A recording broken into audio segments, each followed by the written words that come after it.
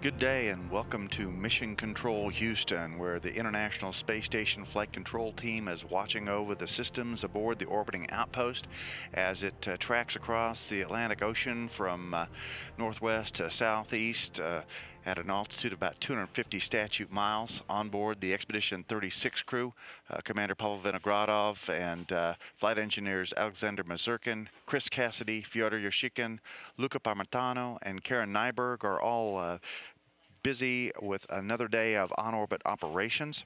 Uh, following uh, yesterday's shortened one hour 32 minute spacewalk, uh, the team uh, in the U.S. side of the space station, in particular spacewalkers Chris Cassidy of NASA and Luca Parmitano of the European Space Agency, uh, have been conducting exhaustive troubleshooting activities taking a look at the spacesuit that was worn by Luca Parmitano on that one hour and 32 minute spacewalk.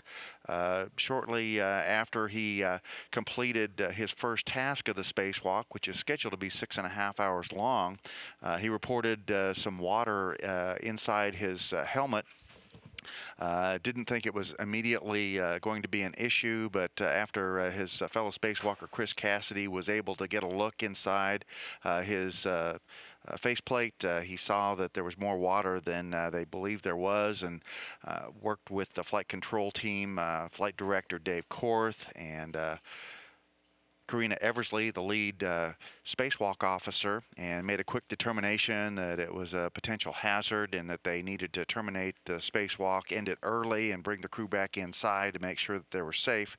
Uh, all that uh, went very well. The uh, team here has trained for uh, uh, contingency re-entry into the Quest airlock module, which you're looking at here in some video from yesterday's spacewalk.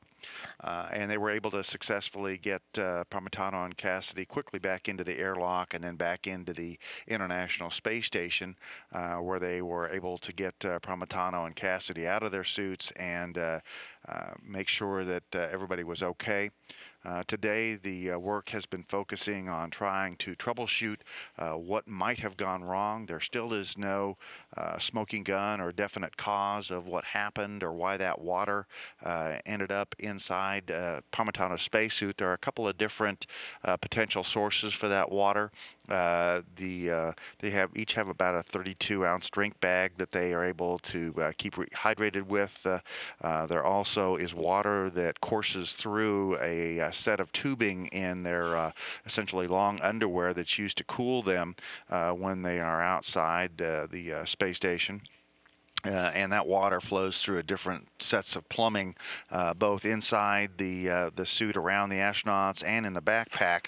Uh, the team here on the ground today has been doing a variety of different uh, troubleshooting activities. Some of these we're seeing uh, from recorded video downlinked here in the equipment lock portion of the Quest airlock module, activating the equipment lock, beginning to recharge the suit with water, inspecting every nook and cranny for any signs signs of water leakage. Uh, so far, there hasn't been any immediate noticeable leakage other than some droplets in the uh, neighborhood of, of one of the inlet loops from the uh, canisters you use to scrub excess carbon dioxide from the spacesuits. Uh, but the spacewalk specialists here in Mission Control uh, have seen a higher than usual usage of water from the feed tank that uh, runs throughout the system and the suit's plumbing. and that could have been consistent with the readings that were seen yesterday when Parmitano's helmet began to fill up with water. Uh, again, no real theory yet on exactly where this water came from or why, but they're uh, doing a, uh, a very uh, deliberate step-by-step process of troubleshooting to try and identify uh, what's going on. Uh, the spacesuits are in a way a combination of, of parts uh, and uh, there is uh, there's an additional spacesuit on board the space station should there be any contingency outside that would be necessary to have a spacewalk something that would be very important to the space station they could resize spacesuits and have have these guys ready to go out, uh, assuming that they're able to identify that this is not a uh, any kind of an issue that will affect all spacesuits, uh, and that they're able to isolate it to this particular suit that Parmitano uh, was wearing. Chris Cassidy didn't have any problems with his suit yesterday, so there's no evidence that there is a uh, generic problem with the spacesuits. And so uh, the team now is focusing on trying to figure out exactly what uh, happened yesterday so that they can uh, uh, identify and uh, design a repair procedure uh, or shift over to alternate spacesuits.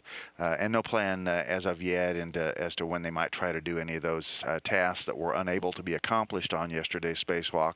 Uh, none of those tasks was particularly time critical. and so the team here is going to take a very deliberate and careful look at everything.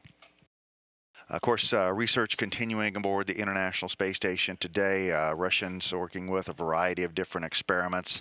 Uh, Karen Nyberg uh, also doing some proficiency training for her role as the crew medical officer on board. Uh, she's also scheduled to be replacing a recycling system tank in the Environmental Control Life Support System and working with uh, the Advanced Biological Research System.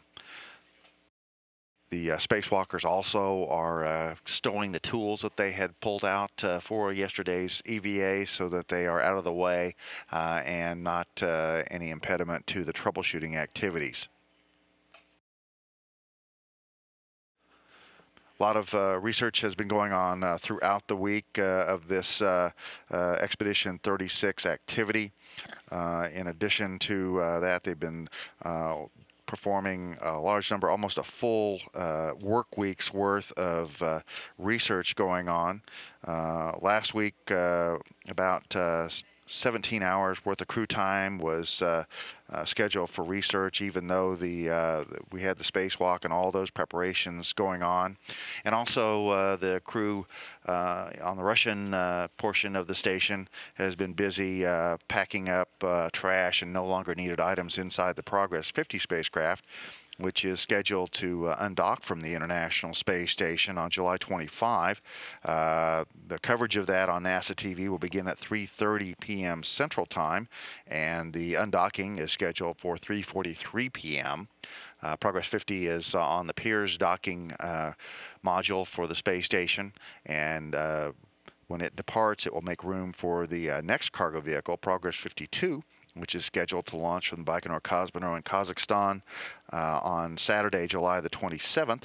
Uh, launch uh, is uh, scheduled for 3:45 p.m. Central Time, and it'll be going through an expedited four-orbit, six-hour uh, travel to the International Space Station and uh, docking of the new Progress ship uh, to that Pirs docking compartment is scheduled for 8.45 p.m. Central Time on July 27. Our correct, correction, we'll have our coverage start at uh, 8.45 p.m. and then docking will be occurring at 9.26 p.m. Central Time. Again, all that will be covered on NASA television uh, as uh, the month of July continues.